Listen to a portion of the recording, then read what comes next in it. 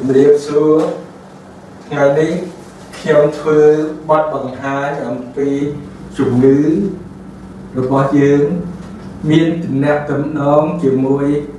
មុខរបរយើងរកស៊ីព្រោះមនុស្សយើងគ្រប់រូបតែងតែមានមុខរបរចិញ្ចឹមជីវិតរៀងរៀងខ្លួនដូចជា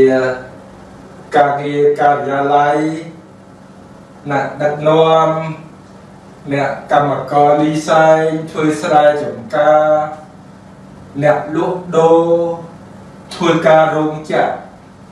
ដូច្នេះការងាររៀងរៀងខ្លួនហ្នឹងក៏ប៉ុន្តែអាចមានជំងឺខុសៗគ្នាទៅតាមមុខរបរហ្នឹងព្រោះមនុស្ស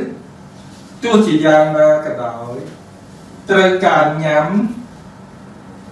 ត្រូវការធ្វើការនិងត្រូវការសម្រាប់ជាការចាំបាច់ដោយអ្នកជំងឺខ្ញុំមកថាលោកគ្រូខ្ញុំមេផ្ទះខ្ញុំធ្វើកពិតកប៉ុករាល់ថ្ងៃដូចហាត់ប្រាណក៏ប៉ុន្តែយើងមេផ្ទះយើងធ្វើការកពិតកប៉ុកប៉ុន្តែអត់គ្រប់ទេដូចខ្ញុំបានជម្រាបអញ្ចឹង ការហាត់ប្រាណវាមានកម្លាំងសាច់ដុំការធ្វើចលនាអញ្ចឹងមានដៃមានកមានចកេះមានជើងជួនកាលកប៉ិចកប៉ុកវាអត់គ្រប់អញ្ចឹងហើយបានជាយើងត្រូវបន្ថែមបើយើងមានពេលយើងដើរទៅកន្លះម៉ោងមួយម៉ោងអីទៅទៀតទៅតាមពេលវេលារបស់យើង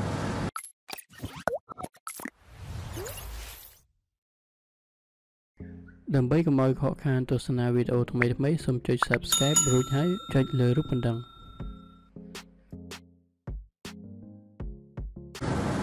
ហើយនៅស្រុកយើងមិនត្រឹមតែមេផ្ទះទេរវល់ជូនកូនទៅសាលាធ្វើបាយធ្វើទឹកអូច្រើនរឿងណាស់អញ្ចឹងបានការងារមេផ្ទះនេះក៏ជាការមួយសំខាន់នឹងដែរ ក៏ប៉ុន្តែទោះជាយ៉ាងណាគឺយើងត្រូវការសម្រាប់និងត្រូវមានពលកម្ម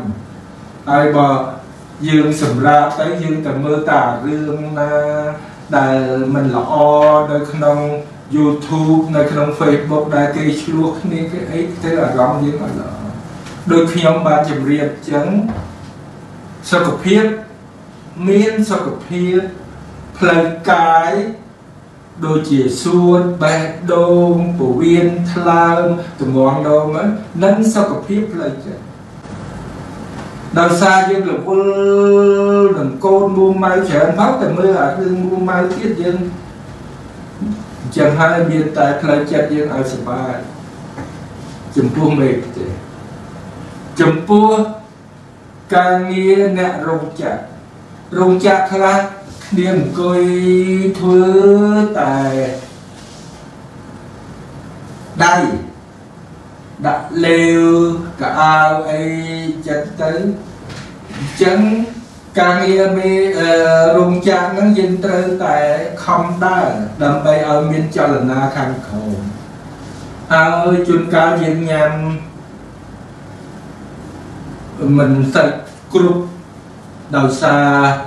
បីឲ្យមានចលនាខាងក្រោមហើយជួនកាលយើងញ៉ាំមិនសិតគ្រប់ដោយសារបញ្ហាលុយយើងទិញឲ្យញ៉ាំតិចតួចតិចតួចហ្នឹងក៏មិនសូវល្អអញ្ចឹងហើយបានអ្នកខ្លះខ្ញុំឃើញគេដាក់ស្រាប់ទៅមានបន្លែមានអីមានត្រីមានអីចឹងទៅដើម្បីរួចមកពេលឬក៏ពីរពេលរបស់គាត់ការងារ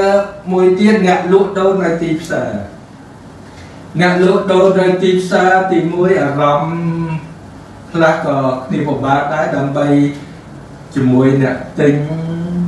ត្រូវតថ្លៃត្រូវអីក៏មានអារម្មណ៍មិនទៅហើយច្រើនតែអង្គុយយូរអ្នកលក់ដូរខ្លះច្រើនមានបញ្ហានោមទាស់ប្រជាជនខ្លះច្រឡំនោមញឹកនឹងការនោមទាស់នោះមិនមែនតម្រង់នោមទេបងប្អូនលើកលែងតែយើងមានដុំគ្រោះអី គឺផ្លោកនោមពីព្រោះផ្លោកនោមហើយច្រើនស្ត្រីទៀតព្រោះផ្លោកនោមវានៅស្ត្រីវានៅចិត្តក្រោមនៅចិត្តរុនគូតច្រើនតែមេរោគវាមកឆ្លងចឹងហើយឬក៏អ្នកធ្វើដំណើរផ្លូវឆ្ងាយព្រោះកាលណាយើងបាត់ជើងតូចយើងត្រូវតែ3ម៉ោងខ្លះ3ម៉ោងកន្លះអីទៅបាត់ជើងម្ដងល្អ កុំចិត្តតែទ្រាំទ្រាំទ្រាំដល់លក់ដាច់ឬក៏ផ្លូវឆ្ងាយជួនកាលរលាកផ្លោះនោះអ្នកជំងឺនៅតាមផ្សារហ្នឹងយើងត្រូវដើរព្រោះគឺអឺនៅតាមផ្សារយើងមានជំងឺផ្លូវចិត្តដែរព្រោះតាក់ទងនឹងអ្នកជំងឺហើយផ្លូវកាយដូចខ្ញុំថាអង្គុយយូរហើយយើងត្រូវតែដើរឲ្យបានច្រើន បើមិនចឹងទេយើងឈឺហើយជួនកាលយើងញ៉ាំម្ហូបដោយសារមិនបានធ្វើពីផ្ទះទៅយើងញ៉ាំនៅតាមផ្សារលក់ដូរអីតិចតួចទៅអ្នកខ្លះក៏ធាត់ដែរលើសជាតិខ្លាំងអញ្ចឹងសំខាន់ដែរអ្នកដែលរបរនៅតាមផ្សារលក់ដូរអីហ្នឹងគឺអ្នកខ្លះក៏ធាត់ធាត់ឈឺអញ្ចឹងបើសិនជាអញ្ជើញមកហ្នឹងខ្ញុំច្រើនមើលជាតិខ្លាញ់ហើយបើចាំបន្តិចស្ត្រីមើលពុកឆ្អឹង ដែលសំខាន់ណាស់ដែលខ្ញុំឆាយជំងឺទូទៅឲ្យជំងឺមួយទៀតគឺអ្នកធ្វើការការិយាល័យនឹងដឹកនាំអីមួយថ្ងៃមួយថ្ងៃប្រជុំបងប្អូនប្រជុំហើយប្រជុំទៀតដល់អញ្ចឹងទៅអង្គុយច្រើនគិតច្រើនដូច្នេះ អស់លោកបងប្អូនដែលធ្វើការការិយាល័យនឹងត្រូវតែហាត់ប្រាណយកពេលវេលាទៅហាត់ប្រាណនៅក្លឹបស្ពងទឹកក្តៅទឹកត្រជាក់អឺ steam sauna អីទៅបានបងធ្វើម៉េចឲ្យបានបែបនេះធ្វើម៉េចឲ្យបានបែបនេះពីព្រោះជាតិពុលដែលចេញពីខ្លួនយើងចេញតាមញើសចេញតាមទឹកនោម ចេញតាមលិមួកនិងចេញតាមដង្ហើមចេញ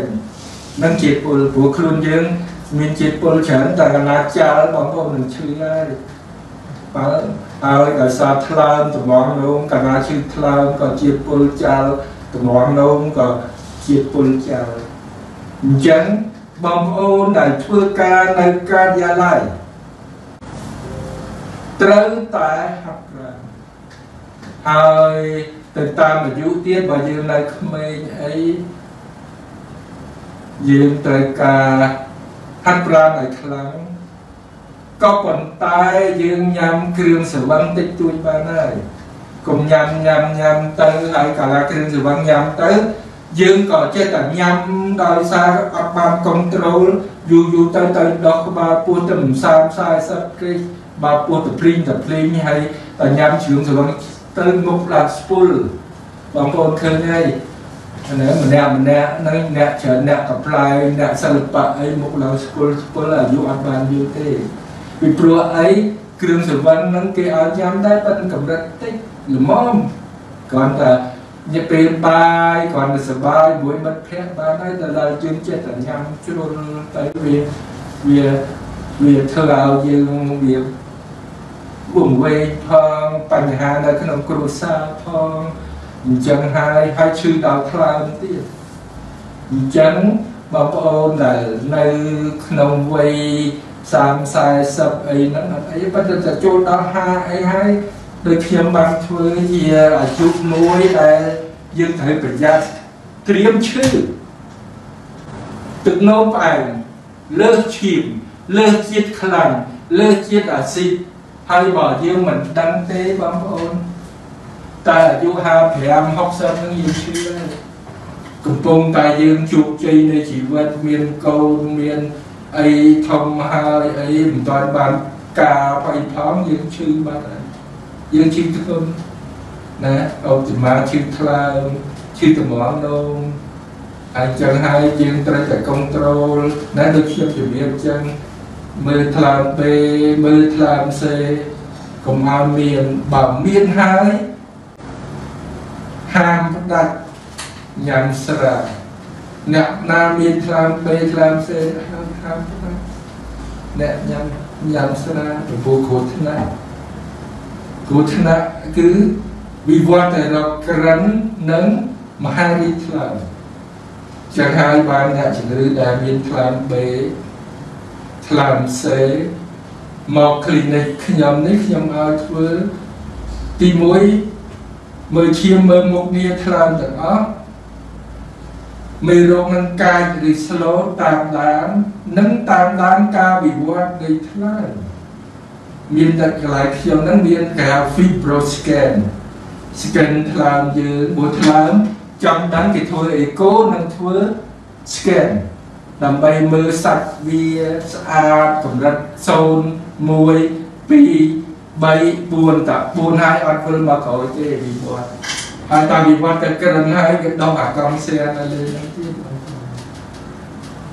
អញ្ចឹងអ្នកដែលមុខរបរការងារការិយាល័យក៏ដោយមុខរបរប្រជុំច្រើនអីហ្នឹងត្រូវតែ